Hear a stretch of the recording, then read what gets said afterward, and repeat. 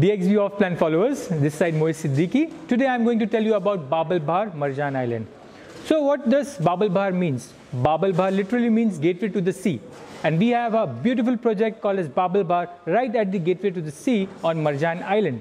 What is Marjan Island? Marjan Island is Ras Al Khaimah's first man-made island, which has amazing properties, beachfront properties. For more information, you can follow us on our Instagram and YouTube and you can contact us on the below number for more details.